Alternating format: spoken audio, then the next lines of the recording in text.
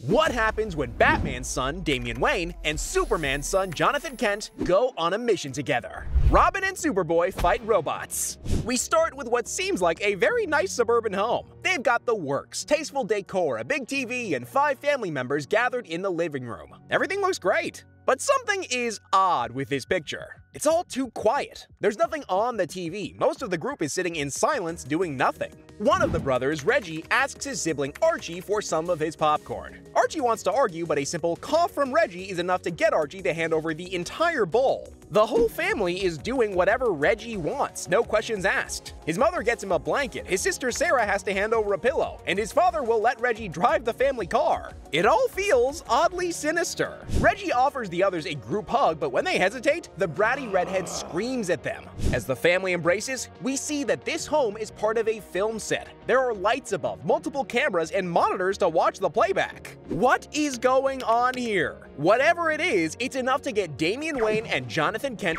running for their lives through the forest, avoiding a ton of laser blasts. The two are angry at each other, neither wanting to take blame for what's going on. John yells that Damian lied to him. Damian says that he just didn't tell him everything. Totally different. But they can't keep running forever. The pair pause, with Damian turning to cover John's back. It's time for Robin and Superboy to fight back. And fight back against an army of robot copies of them. Okay, how the hell did we get here?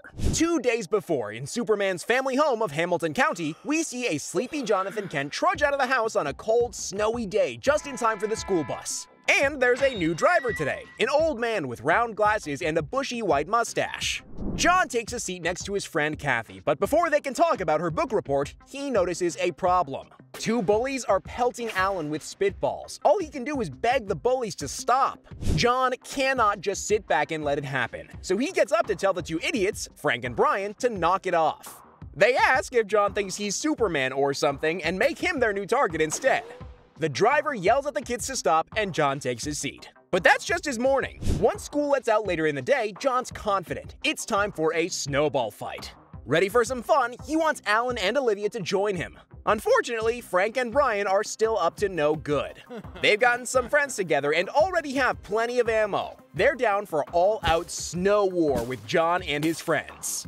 But during this, Frank and Brian start packing rocks into their snowballs and throwing them at the other kids as hard as they can. John's fast enough to dodge, but his friends are not so lucky. Alan's left with a bleeding head while Kathy's jacket protected her. After that, these future criminals wanted to put even bigger rocks in their snowballs. John's heat vision started to flare with anger as he slowly removed his glasses. They hurt his friends. He'd show them some pain they'd never forget. But no.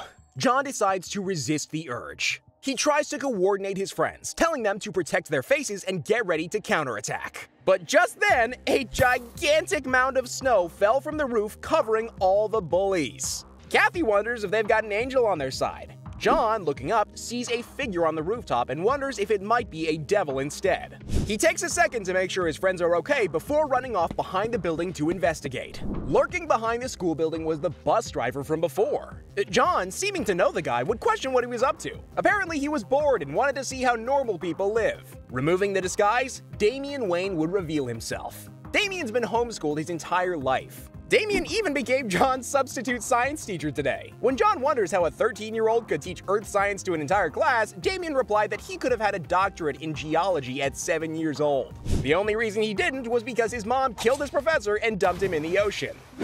and you thought his dad was bad. John tries his best to smile through that, joking about Damian beginning to drive at 8. But Damian actually did that at 5 with a clear disregard for the rules. Damian takes John back home, driving the bus one last time before returning to Wayne Manor. He still got training to get through. Once Batman started talking about heading out a bit early, Damian was excited to vault over Alfred's head to go get ready which Alfred was not so happy about. Unfortunately for Damian, Batman was not bringing him along. He blew off studying with Alfred to follow John and is behind on his homework. Damian saw it all as a waste of time since he already knew everything, but Batman was not satisfied. He promised his father he'd take studying seriously, so he was left to keep at it.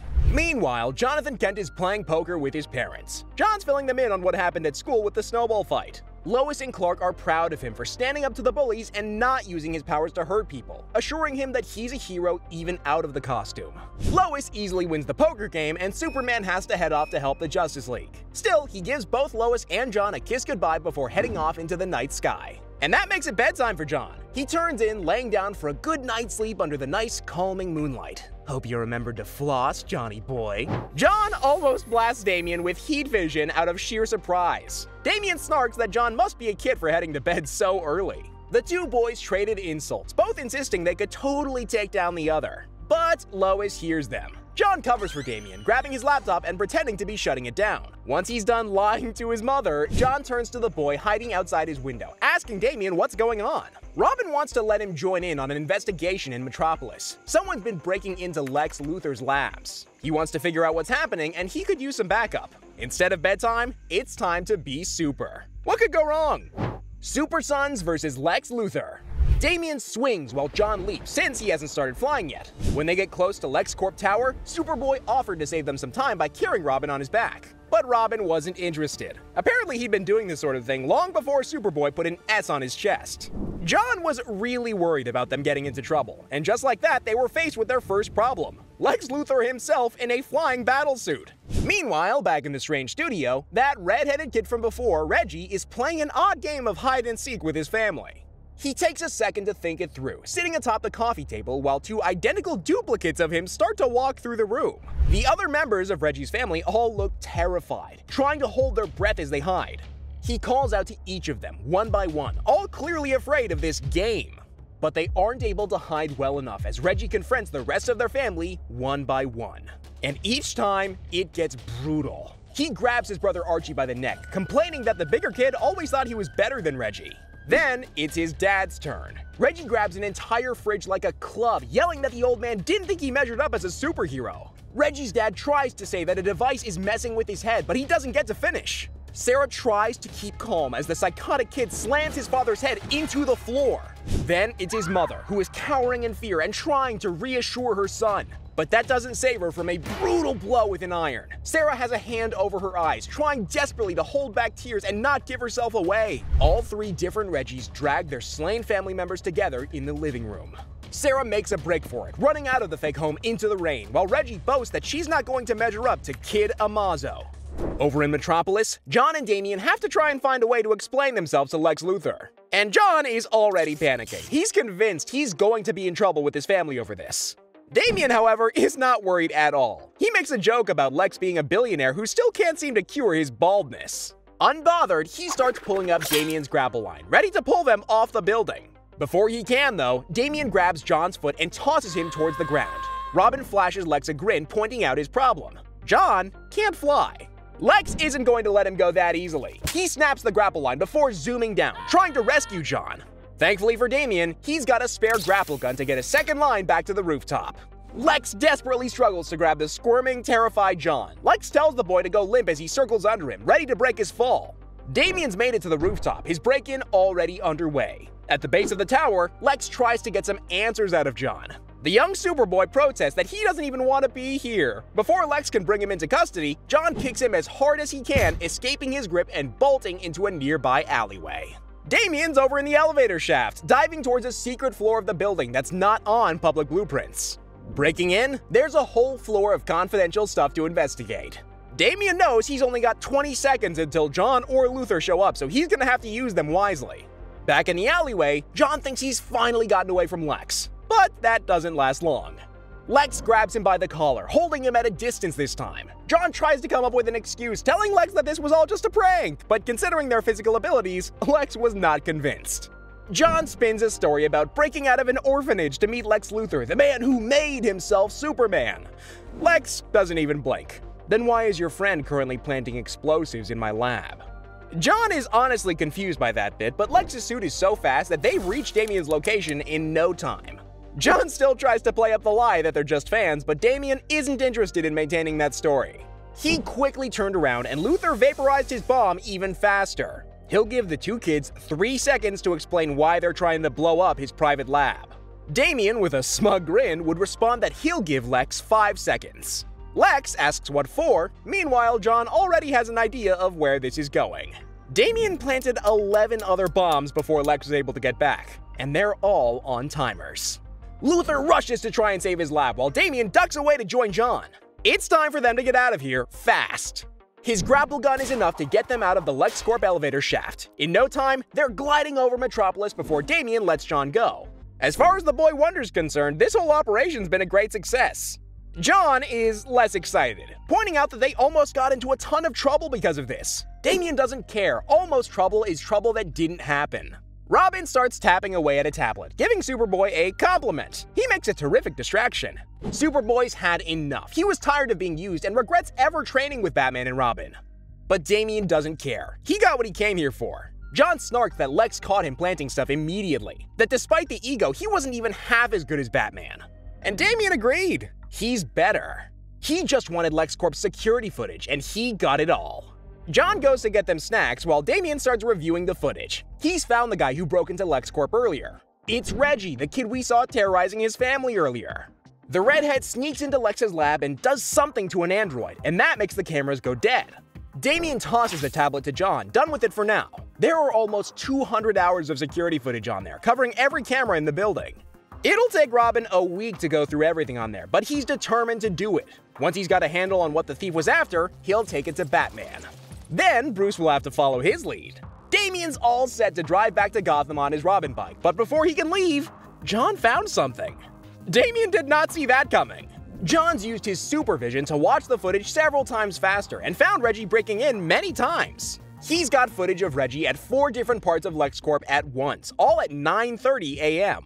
Damian swipes the tablet, excited. John turns around, ready to go home. He does not want to spend a week on this job. He's got school and family to deal with. But before he can leave, Damian shoots his grapple into the wall behind him. Thanks to Batman's facial recognition systems, he already has a lead on Reggie. They can solve this. Superboy betrays Robin. The two are driving off towards Providence, Rhode Island, where Reggie's family, the Myers, live. Damian zooming over the roads with his bike, John on the back with him. As they draw close to the city, Robin shuts down the light and power on his bike, drifting down a hill towards a building on the outskirts of the city. As they go, Damian explains what's going on to John. This kid and his whole family were affected by the Amazo virus. It was a superpowered contagion that hit the DC universe about a year ago. It gave people superpowers, even as it killed them. John's dad told him that everyone cured of Amazo lost their powers. According to Damian, Batman says that Superman is not much of a details person. In reality, 5% of all Amazo victims kept their superpowers. And that included all five Meyer family members. They got some attention in Providence as a new superhero team. But they disappeared. They've been missing for weeks. Damian's tracked Reggie to this location. Robin scans through the building for an opening. The walls are tough, so he's already launching a plan to break through the roof. But taking a jab at Damian for his details comment earlier, Superboy points to an open front door. The two Super Sons go in together, Damian flicking on his flashlight. It's the same weird studio we saw earlier. Spotlights, cameras, and everything. John's getting nervous, wanting to call their dads in. But Damian isn't willing to hand this case over to their dads or the Justice League. Batman already micromanages his training and involvement with the Teen Titans. He needs to do this his way. John starts searching, wondering if he's just here to save him if things get tough. Damian doesn't answer at first, reading over a newspaper, before claiming that he doesn't mess up. John does have one mistake to hold over him, though. Damian didn't invite John to join the Teen Titans. Damian snarks that he clearly doesn't understand what the word teen means, given that he's only 10, before getting back to his news article. Apparently, the family got into an argument on the street, one that escalated into a fight. They were known to be having difficulties even before they were infected with Amazo. But Superboy stopped listening as his eyes went wide with shock. He spotted the dead bodies of the Meyer family piled up under the fridge. John immediately starts crying. Damian tries to calm him down, admitting that this is horrible, but being convinced that they can figure it out. But no, this is John's breaking point. They need to go get the adults. Damian tries to hold him back, insisting that this is his case and solving it is his job. But John tosses him into the fake wall. He's not playing along with Damian any longer. He jumps through the roof, heading away, even as Damian screams at him to stop. It's the first time Robin's called John by his actual name. He's way too proud to admit it, but Damian really wanted John's help.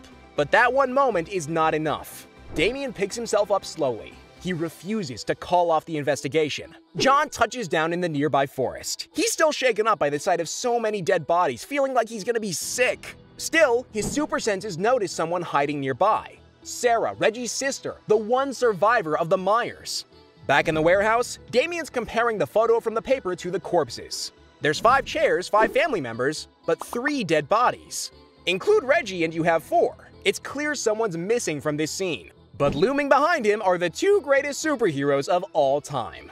Superman is ready to confront Robin while Batman is on Superboy's trail. And they do not look friendly. What is going on? Well, while you wait for more, check out our top 10 strongest super kids video.